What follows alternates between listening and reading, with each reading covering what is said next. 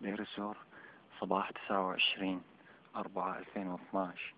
إطلاق رصاص من حواجز دوار الصناعة ودوار السيوف ودوار غسان عبود بكثافة من قبل قوات الأمن والشبيحة.